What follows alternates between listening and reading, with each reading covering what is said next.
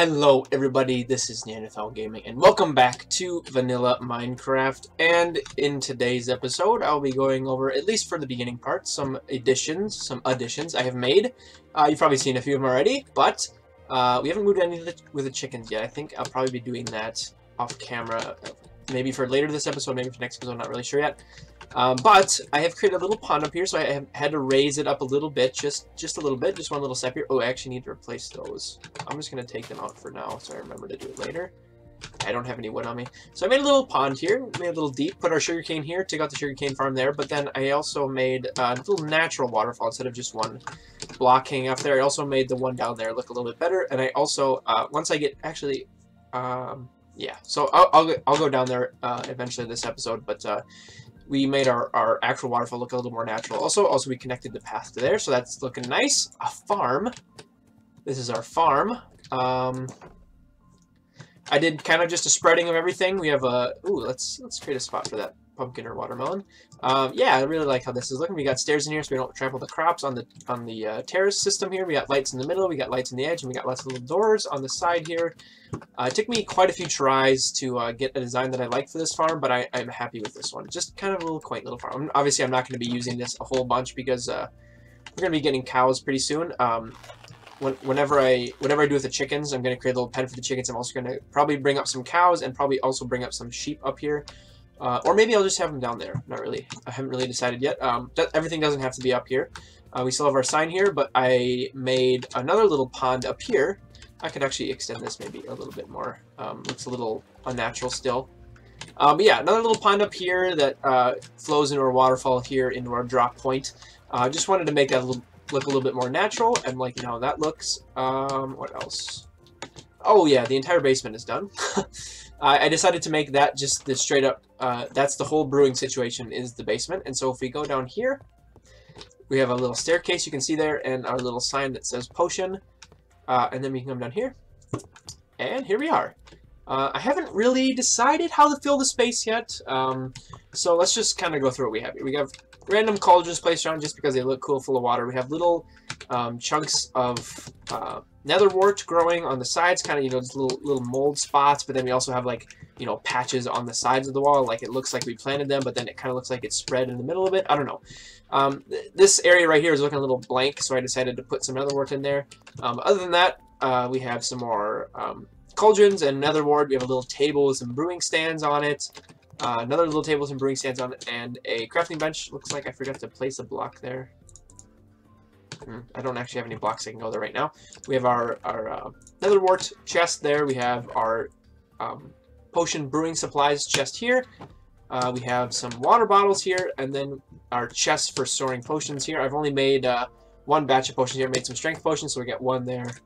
Uh, one is in the chest and one is in the sign up there. Then we have our randomly placed glowstone lighting on the ceiling. And then these things, these doors here, actually have water in them. Uh, and I actually put some some mossy stone, mossy cobble below that, so it kind of looks like that's extra moldy, you know, just a little bit extra moldy. Uh, and actually, I found out that, oh, I guess if you walk fast enough, you can just kind of walk across this gap somehow. Not really sure how that works, but if you walk slowly, you can actually fall. So I'm not really sure how that works. Oh, it's raining. Uh, but these are just like water barrels, you know? Uh, so if you have like some water buckets here, or uh, actually no, it's more for the water bottles.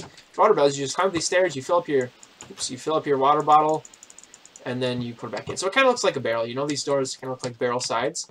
Uh, so you just got another one up here. Oh, I need to fix that door actually. I'll do that later. Uh, but yeah, these are little water barrels in the corners. Also, above, in, in between, um, so like this floor is only too thick here.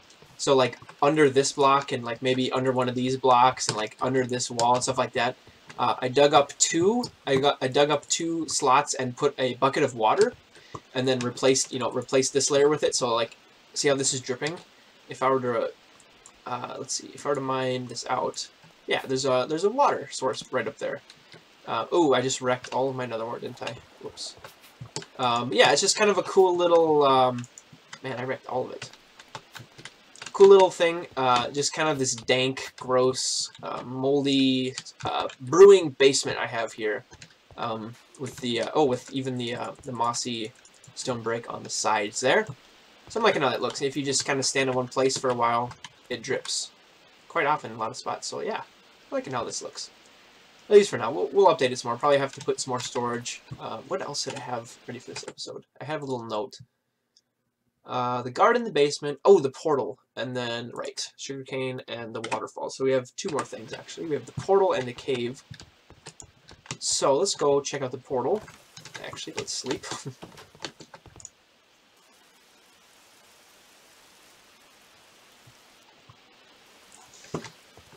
Hopefully that will make the rain go away. There we go. Have a nice day. Alright. So here is the portal. I've kind of netherified the area.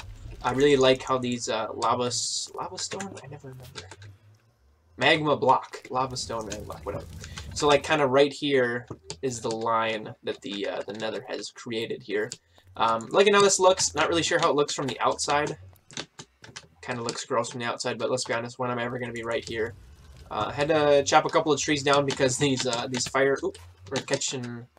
I was catching some trees on fire, so there's a minor minor little fire I had to deal with, but uh, not too big of a deal. It didn't spread too far. Um, so yeah, I could kind of fill this in back here too, but um, oh, a little, a little lazy to do that. But anyway, uh, I'm, I'm really liking how this looks too, so I think we're going to leave that how it is. Um, these two blocks gone? Um, a couple of people commented on my last Minecraft video, and that is uh, a couple more than I usually get. Uh, one of you uh, commented on um, how I, I said that maybe uh, I had too many of these fence gates, fence gates, trapdoors on my house, and that I should maybe replace the ones on the, uh, what do you say? First, one of them, uh, replace some of them, I can go look back and look, replace some of them with stone buttons, and I totally agree with that. I have too many trapdoors, it kind of just looks like it's just too too much trapdoor, you know.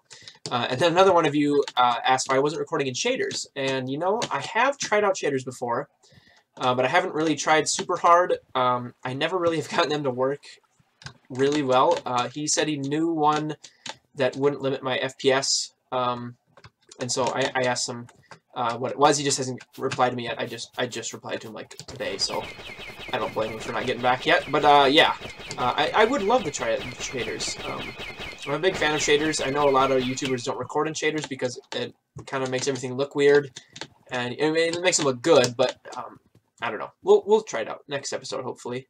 Um, so there's a hole there. Let's jump down our waterfall here and check out what we did down here.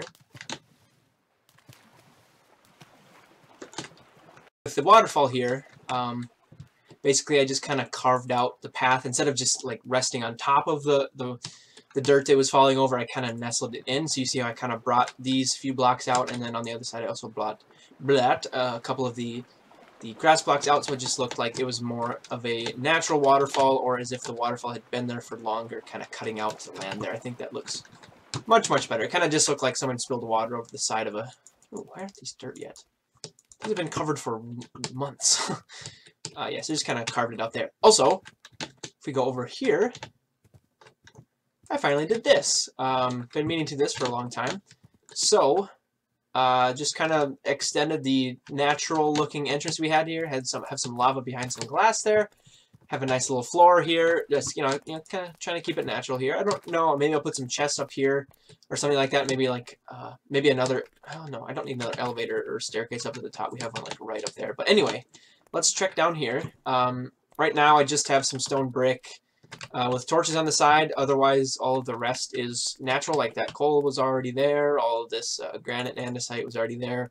So just kind of left that there. Not really liking how that looks, but I mean, it is in more natural. Also, this straight I've got to do something else other than this straight staircase. I don't like it. But anyway, this is kind of a, a cool little feature here. Once we come to this little turn here, uh, you can, I kind of made a glass floor. You can look down at the, uh, where the, the stairs keep going. So I really like how this looks because it's just like, it looks like there's a whole network of stairs, but really you just come down here, come down here, come down here, and this is where we are. Uh, so you could jump down that way and go that way, but really I've explored that side of the ravine and there's not much. There's no caves uh, connecting. Well, at least there are some, but um, I think there's one, but I explored to the extent of it. This way, however, is mostly unexplored. Uh, I've torched it up, but I haven't done any of the resource mining. I also created this little bridge across. Um, but yeah, uh, if I wanted to just jump over there, I could. Uh, that's very dangerous. It's actually a bridge across lava. I didn't even notice that. Lava on both sides. Ooh, there's a redstone. But anyway, uh, I like how this bridge looks. And then basically down here, I didn't do anything past it. It just kind of lit it up. Um, we are at 19, so we would have to go a little bit lower to do a strip mine, but this is a good start to a way down to a mine system. I'm liking how this looks. Uh, I also haven't connected this up with the, the drop we had before. Uh, I'll show you what I mean when I talk about that.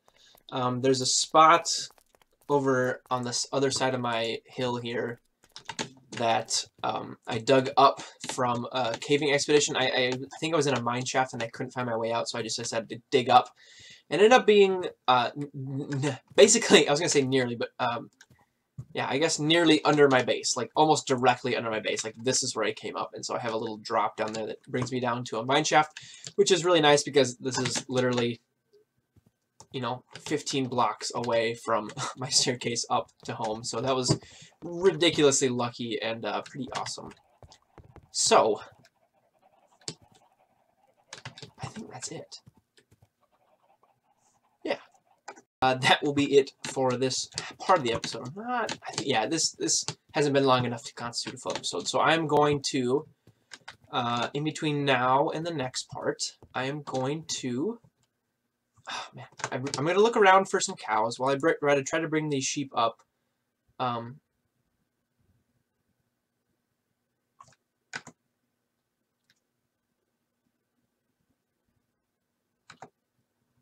sorry, I keep uh, I keep getting sidetracked there. Um, I'm gonna look for some cows. I'm trying to bring the sheep up because the, the, the cows that I've been farming are way the heck over there. Um, I'm not, I mean, I don't have that many saved up over there. Um, also, I'm going to move the chickens, and we're going to have little pens for setup. Uh, I don't need pigs, necessarily, because, uh, I mean, pigs don't give you anything uh, that cows don't, and cows give you leather, so, yeah. But that is going to be it for this part, so I will be right back. Alright, so I'm back. It's been a few days since I've recorded. Uh, I have replaced the trapdoors with the stone buttons. Very good idea. Very like, uh, i very much like it. Uh, very much improved. I totally agree there were too many... Oh, this can be freed up also. How am I going to get out of here without breaking a crop? Dang it. How many ender pearls? Oh, man. Um, so I replaced these layers, this layer up here, so the stone button right there, and also the stone buttons on this layer here. And then I also took off the trapdoors from these windowsill type things. Alright, we're going to have to hop to that. on Easy. And then yeah, there we go. Okay, uh, the next big thing. Um, I can go down into this chicken farm and slaughter all the chickens because we have another farm. So it's kind of basic. Uh, I tried making it look a little nice. I kind of added this little uh, barn shed kind of thing, I guess you could call it. Man, chicken slaughtering is a lot faster with a sword that does AoE damage. Probably be critting these guys, actually. Come here.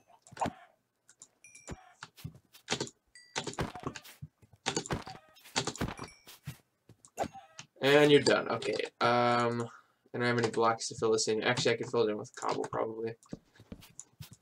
So let's do that. We don't need this uh, room anymore.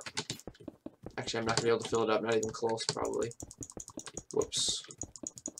Probably just created a monster spawner.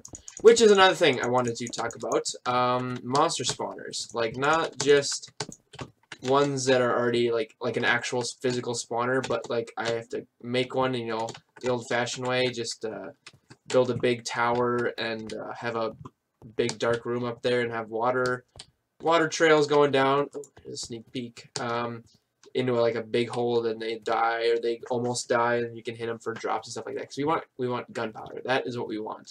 We want this stuff right here. We want gunpowder because gunpowder lets us make fireworks, and fireworks let us fly if we have an elytra. That is new in 1.1 uh, 1.11.2.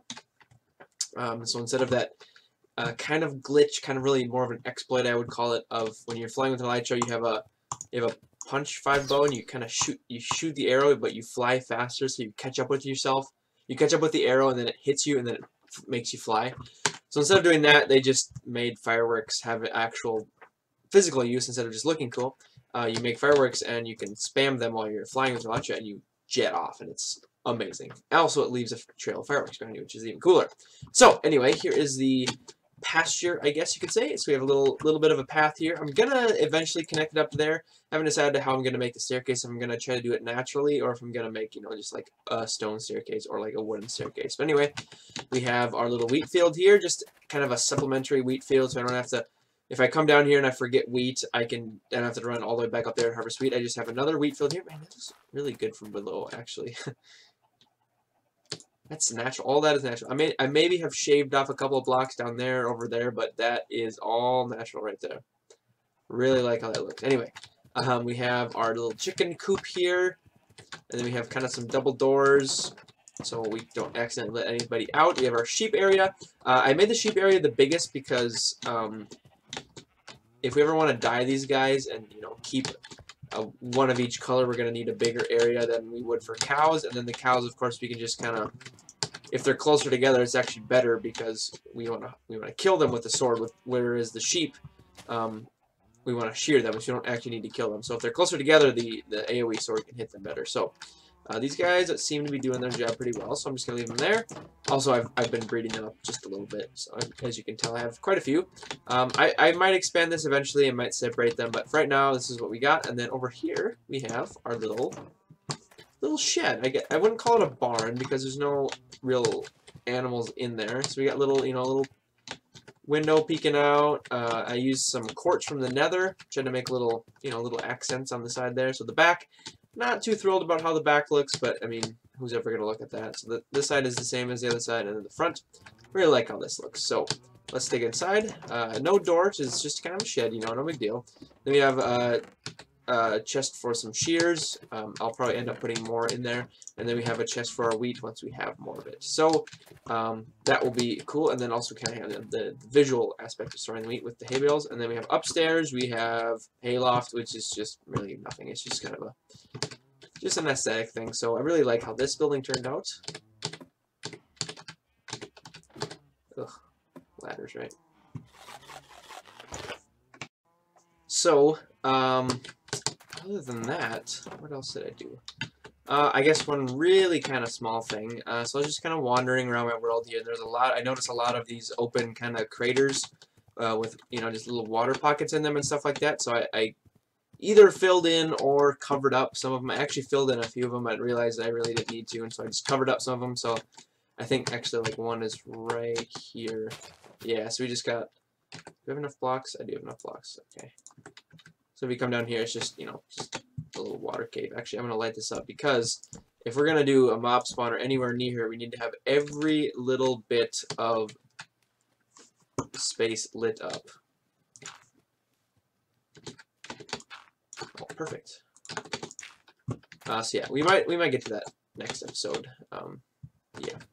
Uh, but the thing that I did, uh, this doesn't actually look the best right now, um, because I don't have enough dirt to even this out. But uh, this waterfall is kind of uglily, uglily spilling out into this little pasture here, and so I just kind of contained it in this little pond here by making a little retaining wall, I guess.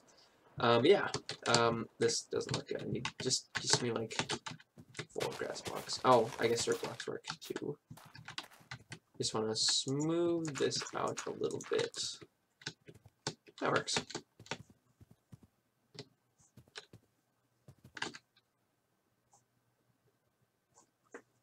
That's going to be it for this one. Uh, thank you so much for watching. Remember to like, subscribe, comment.